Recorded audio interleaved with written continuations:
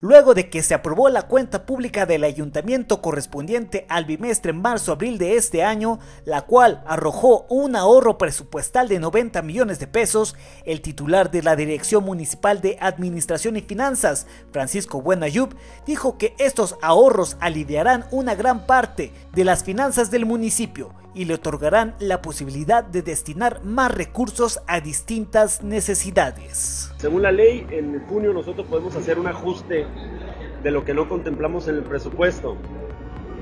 Eh, estamos rentando una cantidad más o menos importante de pipas, por ejemplo, ¿no?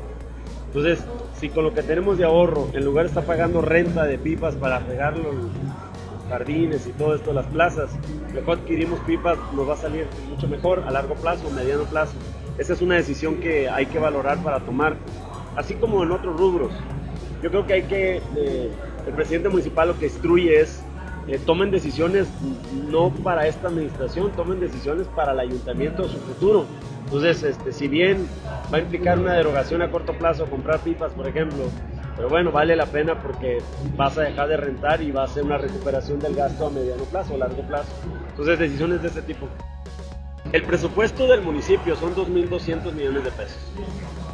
Eh, nosotros tenemos que ver porque el ayuntamiento tenga eh, el recurso suficiente y que no gaste eh, más de lo que debe de gastar.